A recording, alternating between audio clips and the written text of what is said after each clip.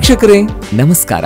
Jeet media network YouTube ವಾಹಿನಿಯ interesting ವಿಡಿಯೋನ ನೋಡೋದಕ್ಕೆ ತಮ್ಮೆಲ್ರಿಗೂ ಆತ್ಮೀಯವಾದ ಸ್ವಾಗತ.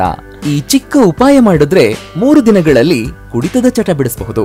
ಅನ್ನೋ ಕುತೂಹಲಕರ ಮಾಹಿತಿಯನ್ನ ಇವತ್ತಿನ ಈ ವಿಡಿಯೋದಲ್ಲಿ ನಾನು ನಿಮಗೆ ತಿಳಿಸ್ಕೊಡ್ತೀನಿ.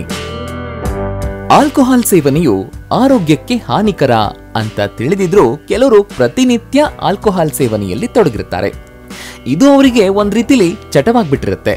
ಆಲ್ಕೋಹಾಲ್ನಿಂದ ಹಲವಾರು ರೀತಿಯ ಅನಾರೋಗ್ಯಗಳು ಕಾಡುತ್ತವೆ. ವೈನ್ ಸೇವನೆಯನ್ನ ನಿಯಮಿತವಾಗಿ ಮಾಡಿದ್ರೆ ಆರೋಗ್ಯಕ್ಕೆ ಸಹಾಯಕ ಅಂತ ಹೇಳಲಾಗುತ್ತೆ. ಆದ್ರೆ ಮಹಿಳೆಯರು ಇದನ್ನ ಅತಿಯಾಗಿ ಸೇವನೆ ಮಾಡಿದ್ರೆ ಆಗ ಖಂಡಿತವಾಗಿಯೂ ಇದು ತುಂಬಾ ತೊಂದರೆ ಉಂಟು ಮಾಡುತ್ತೆ. ಅತಿಯಾಗಿ ವೈನ್ ಸೇವನೆ ಮಾಡೋ ಮಹಿಳೆಯರಲ್ಲಿ ಡ್ರಮ್ ಕೊರೆಕ್ಸಿಯಾ ಸಮಸ್ಯೆಯು ಕಾಡುತ್ತೆ ಅಂತ ಅಧ್ಯಯನಗಳು ಹೇಳುತ್ತವೆ. ಈ ಸಂದರ್ಭದಲ್ಲಿ ಆಲ್ಕೋಹಾಲ್ನಿಂದಾಗಿ ಊಟ ಬಿಟ್ಟು ಅವರು ಬೇರೆ ತಿಂಡಿಗಳತ್ತ ಮೊರೆ ಹೋಗ್ಬೋದು. ಆಲ್ಕೋಹಾಲ್ನಲ್ಲಿ ಯಾವುದೇ ರೀತಿಯ ಪೋಷಕಾಂಶಗಳು ಇಲ್ಲದೇ ಇರೋ ಕಾರಣದಿಂದಾಗಿ ದೇಹವು ಪೋಷಕಾಂಶಗಳ ಕೊರತೆಯನ್ನ ಎದುರಿಸಬಹುದು. ದೀರ್ಘಕಾಲದ ಮದ್ಯ ಸೇವನೆಯಿಂದ ಅನೋರೆಕ್ಸಿಯಾ ಮತ್ತು ಲಿವರ್ ಸಿರೋಸಿಸ್ ನಂತಹ ಸಮಸ್ಯೆಗಳು ಕಾಡಬಹುದು.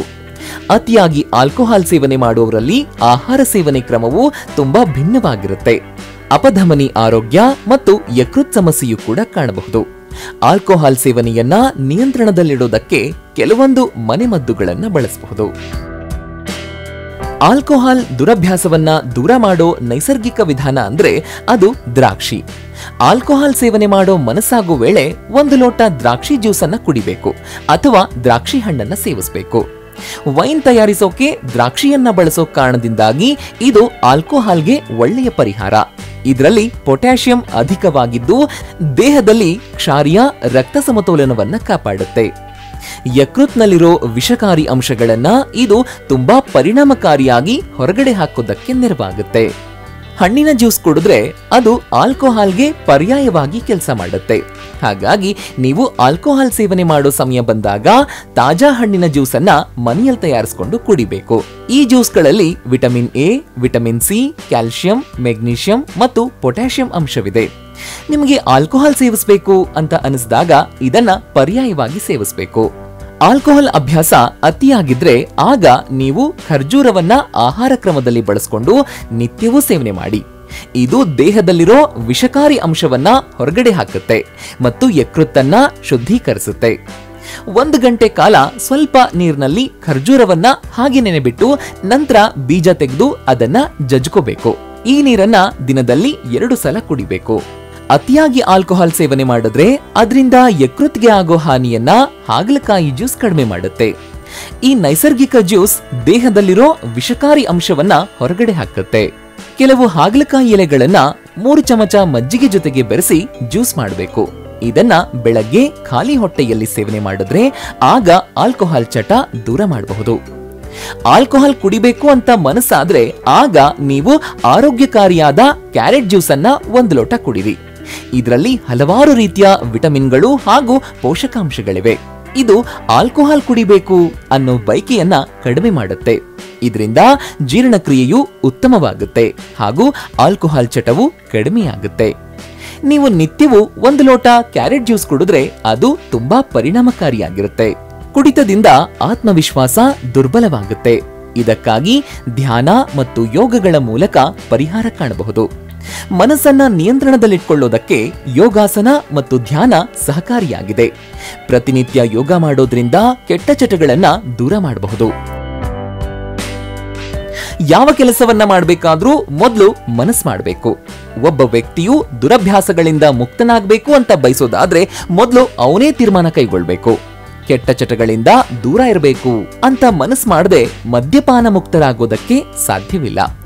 ಹಾಗಾಗಿ ಆಲ್ಕೋಹಾಲ್ನ ಬಯಕೆಯಾದಾಗ ಮನಸ್ಸನ್ನ ನಿಯಂತ್ರಣದಲ್ಲಿಟ್ಕೊಳ್ಳೋದು ಮುಖ್ಯವಾಗಿರುತ್ತೆ. ಅಜ್ವೆ ನೀರನ್ನ ಕುಡಿಯೋದ್ರಿಂದ ಅನೇಕ ಕಾಯಿಲೆಗಳು ದೂರವಾಗುತ್ತೆ. ಹಾಗೆ ಇದರಿಂದ ಆಲ್ಕೋಹಾಲ್ ಬಯಕೆಯು ಕಡಿಮೆಯಾಗುತ್ತೆ. ಅರ್ಧ ಗ್ಲಾಸ್ ನೀರಿಗೆ ಸಮಾನ ಪ್ರಮಾಣದಲ್ಲಿ ಅಜ್ವೇನ್ ಮಿಶ್ರಣ ಹಾಕಿ ಕುಡಿಬೇಕು. ಇದನ್ನ ಒಂದು ತಿಂಗಳ ಕಾಲ ಪುನರಾವರ್ತಿಸೋದ್ರಿಂದ ಮದ್ಯದ ವ್ಯಸನದಿಂದ ಮುಕ್ತರಾಗಬಹುದು.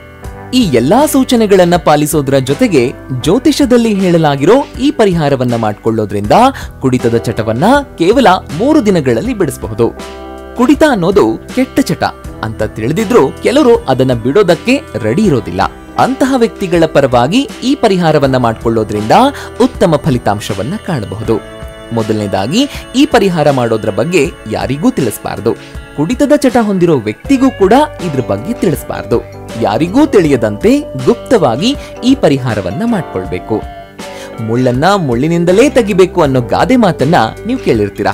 ಅದೇ ರೀತಿ ಈ ಕುಡಿತದ ಚಟವನ್ನ ಬಿಡಿಸೋ ಪರಿಹಾರವನ್ನ ಮಾಡಿಕೊಳ್ಳೋದಕ್ಕೆ ಬೇಕಾದ ಮೊದಲನೇ ವಸ್ತು ಅಂದ್ರೆ ಅದು ಒಂದು ಮದ್ಯದ ಬಾಟಲ್. ಹೌದು, ಕುಡಿತದ ಚಟವಿರೋ ವ್ಯಕ್ತಿ ಯಾವ ಬ್ರ್ಯಾಂಡ್ನ ಮದ್ಯವನ್ನ ಹೆಚ್ಚಾಗಿ ಸೇವಿಸ್ತಾರೋ ಆ ಮದ್ಯದ ಬಾಟಲ್ ಅನ್ನೇ ತಗೊಂಡ್ರೆ ತುಂಬಾ ಒಳ್ಳೇದು. ಒಂದು ವೇಳೆ ಆ ವ್ಯಕ್ತಿ ಕುಡಿಯೋ ಬ್ರ್ಯಾಂಡ್ ಬಗ್ಗೆ ತಿಳಿದಿಲ್ಲ ಅಂದ್ರೆ ಯಾವ್ದಾದ್ರೊಂದು ಮದ್ಯದ ಬಾಟಲ್ ಅನ್ನ ತಗೊಳ್ಳಿ. ಭಗವಂತನ ಬಳಿ ಕ್ಷಮೆಯನ್ನ ಕೇಳಿ ಯಾವ್ದಾದ್ರೊಂದು ಮದ್ಯದ ಬಾಟಲ್ ಅನ್ನ ತಗೊಳ್ಳಿ. ಎರಡನೇದಾಗಿ ಕುಡಿತದ ಚಟವನ್ನ ಹೊಂದಿರೋ ವ್ಯಕ್ತಿಯ ಪಾದದ ಮಣ್ಣನ್ನ ತಗೊಳ್ಬೇಕು. ಅಂದ್ರೆ ಆ ವ್ಯಕ್ತಿ ತುಳಿದಿರೋ, ಹೆಜ್ಜೆ ಇಟ್ಟಿರೋ ಜಾಗದ ಮಣ್ಣನ್ನ ತಗೊಳ್ಬೇಕು. ಇಂತಹ ಮಣ್ಣು ಸಿಕ್ತಿಲ್ಲ ಅಂತ ಆದ್ರೆ ಕುಡಿತದ ಚಟವುಳ್ಳ ವ್ಯಕ್ತಿಯ ಚಪ್ಪಲಲ್ಲಿ ಅಂಟ್ಕೊಂಡಿರುವಂತಹ ಮಣ್ಣನ್ನ ತಗೊಳ್ಳಿ. ಮೂರನೇದಾಗಿ, ನಿಮ್ಮ ಮನೆ ಹತ್ರ ಇರೋ ಯಾವ್ದಾದ್ರೂ ನಾಲ್ಕು ರಸ್ತೆಗಳು ಸೇರೋ ಜಾಗದಲ್ಲಿರೋ ಮಣ್ಣನ್ನ ತಗೊಳ್ಳಿ. ಸ್ವಲ್ಪ ಜಾಸ್ತಿ ಪ್ರಮಾಣದ ಮಣ್ಣನ್ನ ತಗೊಂಡ್ ಬನ್ನಿ. ಈ ಮೂರು ವಸ್ತುಗಳನ್ನ ಸಂಗ್ರಹಿಸಿದ ನಂತರ ಒಂದು ಪಾತ್ರೆಯನ್ನ ತಗೊಂಡು ಅದರಲ್ಲಿ ಕುಡಿತದ ಚಟ ಇರೋ ವ್ಯಕ್ತಿ ಹೆಜ್ಜೆ ಇಟ್ಟಿರೋ ಮಣ್ಣು ಹಾಗೂ ನಾಲ್ಕು ರಸ್ತೆಗಳು ಕೂಡುವ ಜಾಗದ ಮಣ್ಣನ್ನ ಹಾಕ್ಬೇಕು. ನಂತರ ನೀವು ತಗೊಂಡಿದ್ದ ಮದ್ಯದ ಬಾಟಲ್ನಲ್ಲಿರೋ ಮದ್ಯವನ್ನ ಪಾತ್ರೆಗೆ ಹಾಕಿ ಮಣ್ಣನ್ನ ಚೆನ್ನಾಗಿ ಕಲಸಿ ಮುದ್ದೆಯನ್ನಾಗಿ ಮಾಡ್ಕೊಳ್ಳಿ. ಈ ಮಣ್ಣಿನಿಂದ ಸುಮಾರು ಎಂಬತ್ತಾರು ಚಿಕ್ಕ ಉಂಡೆಗಳನ್ನು ಮಾಡಬೇಕು. ಯಾವುದಾದ್ರೂ ಸುರಕ್ಷಿತ ಸ್ಥಳದಲ್ಲಿ ಇರಿಸಬೇಕು. ಇದನ್ನ ಯಾರೂ ನೋಡಬಾರದು ಅಥವಾ ಕೈ ಹಾಕಬಾರದು, ಅಂತಹ ಸ್ಥಳದಲ್ಲಿಡಬೇಕು ನಂತರ ಕುಡಿತದ ಚಟವಿರೋ ವ್ಯಕ್ತಿ ಮನೆಗೆ ಬಂದು ಮಲಗಿದ ಮೇಲೆ ಈ ಮಣ್ಣಿನ ಉಂಡೆಗಳಿರೋ ಪಾತ್ರೆಯನ್ನ ಅವರ ಮಂಚದ ಕೆಳಗೆ ಅಥವಾ ಮಂಚದ ಹತ್ರ ಅವರಿಗೆ ಕಾಣದಂತೆ ಇಡಬೇಕು. ಮರುದಿನ ಆ ವ್ಯಕ್ತಿ ಎದ್ದು ಹೋದ ನಂತರ ಆ ಮಣ್ಣಿನ ಉಂಡೆಗಳನ್ನ ಯಾವುದಾದ್ರೂ ಹರಿಯೋ ನೀರಿನಲ್ಲಿ ಬಿಡಬೇಕು. ಹರಿಯೋ ನೀರು ಸಿಗಲ್ಲ ಅಂದ್ರೆ ಮನೆ ಹತ್ರ ಇರೋ ಯಾವುದಾದ್ರೂ ನಿರ್ಜನ ಪ್ರದೇಶದಲ್ಲಿ ಒಂದು ಗುಂಡಿ ತೋಡಿ ಆ ಮಣ್ಣಿನ ಉಂಡೆಗಳನ್ನ ಹೂತಾಕ್ಬೇಕು. ಇದು ಸಾಧ್ಯವಿಲ್ಲ ಅಂತ ಆದ್ರೆ ಅರಳಿ ಮರದ ಬೇರುಗಳಿಗೆ ಈ ಮಣ್ಣನ್ನು ಸುರಿದು ಹಿಂತಿರುಗಿ ನೋಡದೆ ವಾಪಸ್ ಬನ್ನಿ. ಈ ಪರಿಹಾರವನ್ನ ಮಾಡ್ಕೊಳ್ಳೋದ್ರಿಂದ ಕೇವಲ ಮೂರು ದಿನಗಳಲ್ಲಿ ಕುಡಿತದ ಚಟ ಹೊಂದಿರೋ ವ್ಯಕ್ತಿಯಲ್ಲಿ ಬದಲಾವಣೆಯನ್ನ ಕಾಣಬಹುದು. ವೀಕ್ಷಕರೇ, ನೋಡಿದ್ರಲ್ವಾ? ಈ ಚಿಕ್ಕ ಉಪಾಯ ಮಾಡಿದ್ರೆ ಮೂರು ದಿನಗಳಲ್ಲಿ ಕುಡಿತದ ಚಟ ಬಿಡಿಸಬಹುದು. ಅನ್ನೋ ಕುತೂಹಲಕಾರಿ ಮಾಹಿತಿಗಳನ್ನು ತಿಳಿಸ್ಕೊಟ್ಟಂತಹ ಇವತ್ತಿನ ಈ ವಿಡಿಯೋ ನಿಮಗೆ ಇಷ್ಟ ಆಗಿದೆ ಅಂತ ಭಾವಿಸ್ತೀನಿ. ಇಷ್ಟ ಆದರೆ ಈ ವಿಡಿಯೋಗೆ ಒಂದು ಲೈಕ್ ಕೊಡಿ. ಹಾಗೆಯೇ ಈ ವಿಡಿಯೋನ ನಿಮ್ಮ ಸ್ನೇಹಿತರಿಗೆ ಮತ್ತು ಸಂಬಂಧಿಕರಿಗೆ ಶೇರ್ ಮಾಡೋದಕ್ಕೆ ಮರಿಬೇಡಿ.